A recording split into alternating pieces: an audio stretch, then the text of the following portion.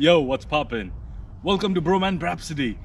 Here at Bhroman Braapsody, we review cars and motorcycles. I am your host for motorcycles, and the punk is your host for cars.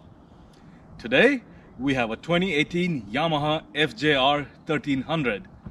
In today's episode, we're gonna look around the bike, see some of the cool features, then I'm gonna take it out on the road, share my thoughts, and we'll talk about the cost of ownership and assign it a Bhroman score. So don't go anywhere. It's me, it's your boy Bro, and I am your Bhroman.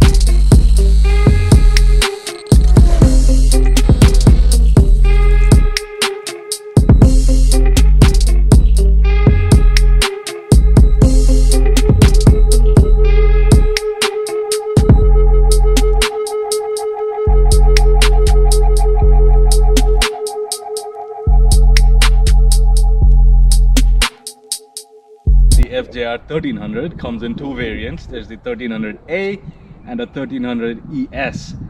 This is the 1300ES. The ES stands for electronic suspension.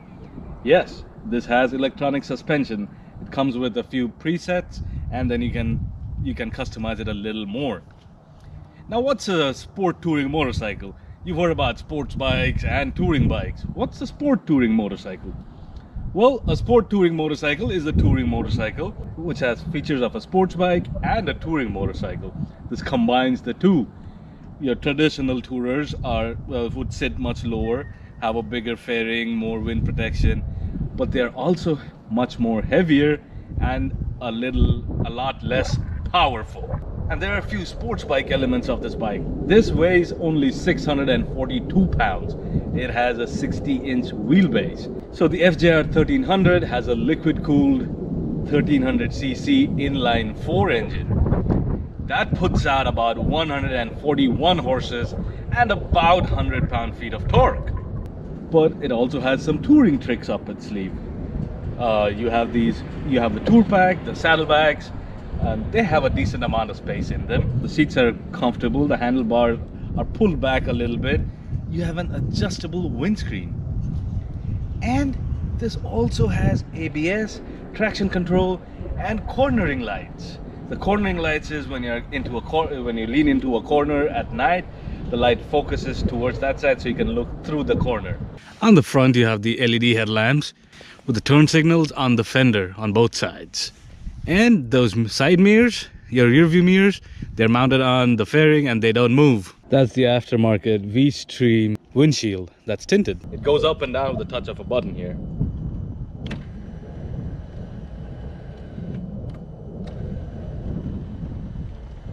The stopping power for this bike is provided by dual 320 millimeter disc brakes with four piston brake calipers.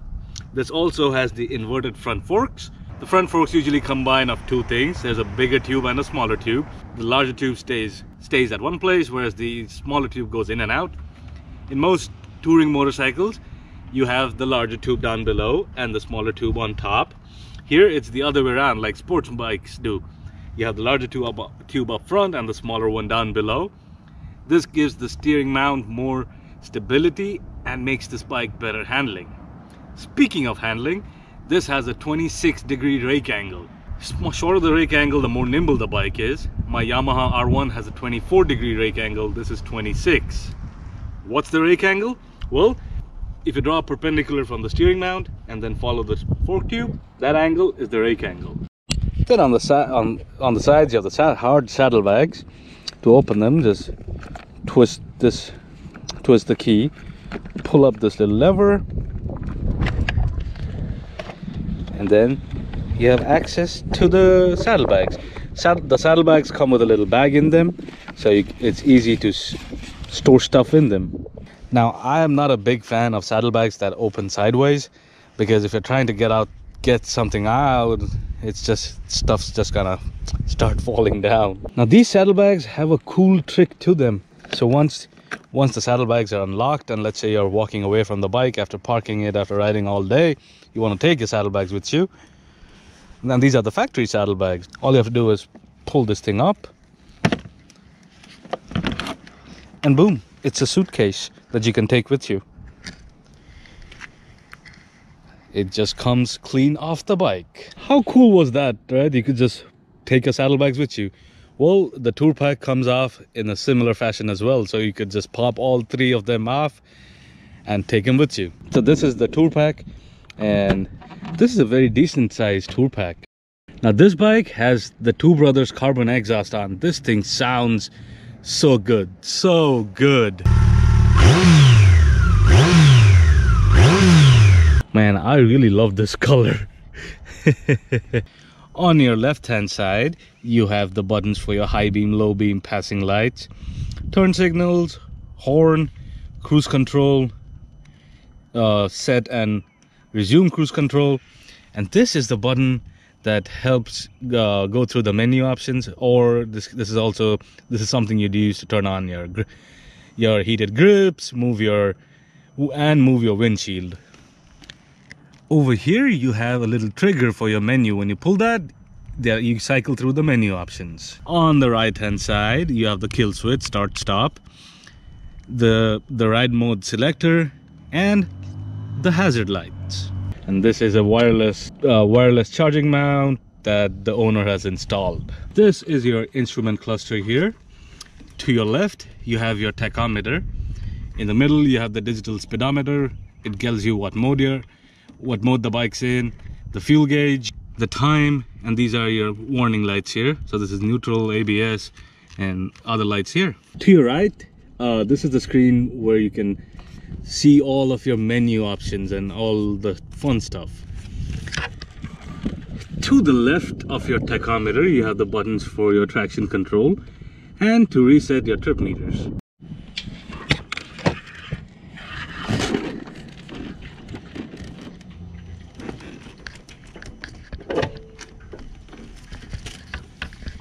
now right now uh, so this this here tells you gives you information around what gear the bike's in and the other stuff and you can cycle through that. Right now if you look at it it's uh, it's set at that it's it's at the menu where you can adjust the height of your windshield. To do that you use this button here and that'll move it up or down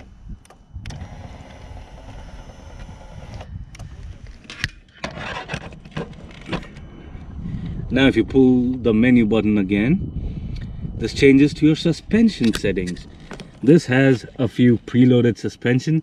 Uh, so you have standard and you can select what you want. Do you want soft standard hot? You can go from standard hard soft and you can also select how much uh, hard or soft you want the suspension to be. Once you get to the screen, this is where you can access your grip, uh, your heated grips. Again, to turn on the heated grips, you use, to turn on the heated grips, once you're on that menu, you use these buttons. And there are, there are three levels of the heaters. So press it once, it's one, two and that's your highest setting at three and this brings you to the main menu and this is where you can play around with the other options as well.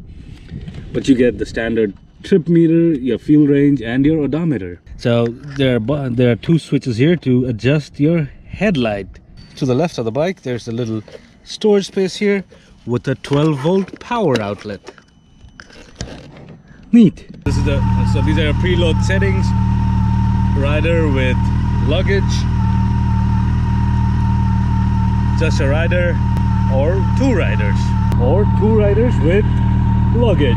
Well now that we've looked around the bike seen some other features do you know what time it is? It's ride o'clock. Let's go. So first things first we have it in sport mode. As you can see it says s. So you can i can flat foot it on both sides. I am 5'10 with a 31 inch inseam and i can flat foot them easily.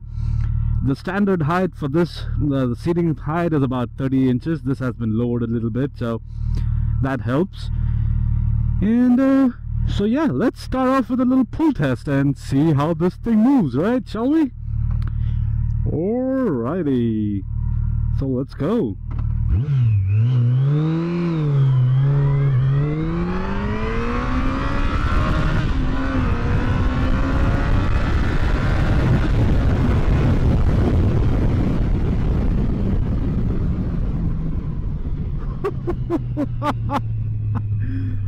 wow. Wow, wow, wow, wow, wow.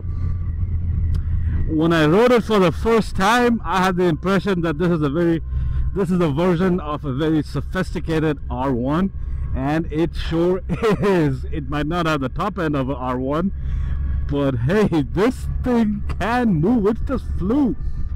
So that 141 horses with the 640 pound weight, ah, if you convert it to like the power to weight ratio in American ton is what 2,000 pounds.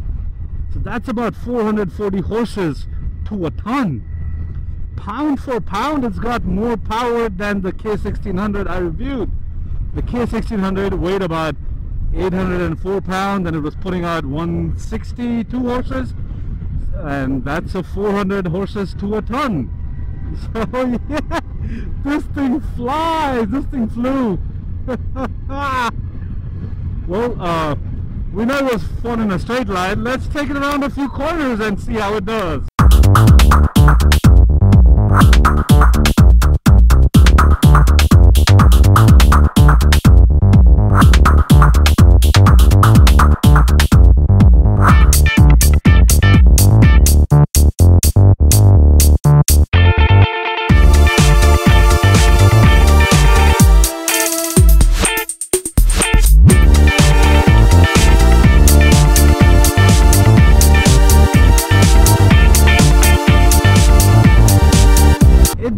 642 pounds you can really feel how light and how nimble and how flickable this thing is. And dang these brakes are crazy. So the brakes on this FJR they use the Yamaha's UBS which is the unified braking system I think. And what that does is when you press on the rear brakes it uh, it activates the calipers of the rear brake and two calipers of the front brakes uh, like one on each side. And when you press on the front brake lever that activates uh, the six the remaining six. And when you pull the front lever that does not activate both brakes. Why? Well how else are you going to do burnouts if you if it activates brakes for both? I like that. Yamaha wanted to have wanted the folks to have some fun well, and yeah, see, look, it's so well balanced. It even has Yamaha's fly-by-wire technology. I think it's called YCCT, and you know that's the fly-by-wire throttle control system that adjusts how much fuel goes into the cylinders and all of that fun stuff. Uh, so yeah, I like the way Yamaha designs their bikes. Well, uh, this is a sports tourer so uh, for the touring features there are some things i really don't like about sport tourers uh, not i wouldn't say not like but things i wish were better. Um, so first thing is the wind protection. Yeah you have this windshield here and that helps of course but uh, when it comes to wind protection for your legs and knees and hands there isn't much because it doesn't have a big fairing or leg protection. When I ride my Indian Roadmaster I barely get any wind uh, on colder days. Not so much on this one. I get a decent amount of wind in my arms and legs and uh, arms and legs. My torso is good because of the windshield but the rest not so much.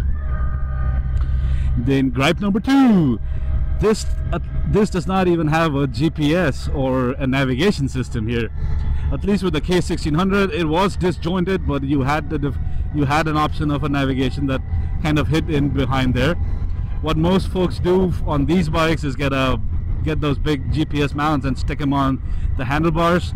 Now it's functional form uh, functionality over form but it looks ugly when you do that in my opinion. It the navigation should be nicely integrated. Oh look an airplane. And uh, yeah so that's grab number two. Grab number three there is no music. You can't play music on this bike. You can play music in your helmet through your uh, Bluetooth module uh, a Cardo, a Sena or Uclear whatever. But the bike does not have speakers. And uh, that kind of sucks on a touring bike. But that's not like if you compare it to the K1600 that had the speakers but they were not no good when you go above 50 so at least if you have no speakers you don't have anything to complain about on that end I guess. Uh, and this bike also has ABS standard. This has standard ABS for both front and rear brakes. How cool is that and see when I'm stopped at a stoplight this is not a heavy bike. This does not feel like a heavy bike. This is 640 pounds. Of course it's not light. What you talking about bro man? It's a six because uh, I'm gonna get it in the comment section below like oh what you talking about? That's a 640 pound bike. That's not light. Yeah you're right but when I compare it to the Roadmaster to my Roadmaster that I was riding that's what a 920 940 pound bike. This is 300 pounds lighter and the dynamics are so different. This feels really light to me. Uh, I guess it's a bit subjective. Uh, huh. green light let's go Oh, that exhaust, man. The Two Brothers exhaust sounds so good. Uh, it's not loud or obnoxious like the Yoshimura on my R1. This is nice. It has a deep, deep, uh, deep throaty sound to it without being obnoxious. I like it. Now, this being a touring bike, uh, uh, this being a sports tourer, do you think this uh, is this great for going long distance touring? I think it is. A lot of folks do it. You can uh, you get handlebar risers to uh, move the handlebars a little more towards you, so you can be a little more comfortable. The seat isn't bad at all. The seat is quite comfy. I'm 5'10", so my legs are not bent super weird. Uh, they're actually pretty comfortable and uh, I like this position. I like this position too. Now a lot of you who ride sports bikes uh, would know this already. Uh, like you know for the for motorcycles that that have a bar where you have to reach over a little bit uh, you don't actually put all your weight on on your wrists and shoulders. You're supposed to hold the bike with your tank uh, hold the tank hold the bike by the tank with your legs you know grip them together uh, and you know let your lower body and core take over it and just leave this leave your hands and shoulders uh, loose so you can flick it around. Easier said than done. Takes a little practice. When I started riding my R1 I couldn't. Look at this. This puppy just loves to lean.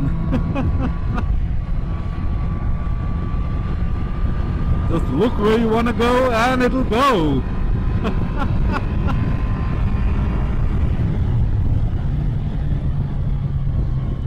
yeah this thing this thing is definitely like a very sophisticated version of a R1 the power isn't as crazy it's a lot more comfortable and the power is a lot more manageable. Well don't get me wrong this will this will try to kill you if you let it but as long as you're sane you'll be just fine. Now could this be a good commuter bike I think it could be. Uh, this does not feel super heavy at all. This is quite uh, light and nimble and this could be a good commuter bike for sure it could be. Now can can you change uh, can you move the windshield while you're moving? Let's let's find out. Oh yeah boy!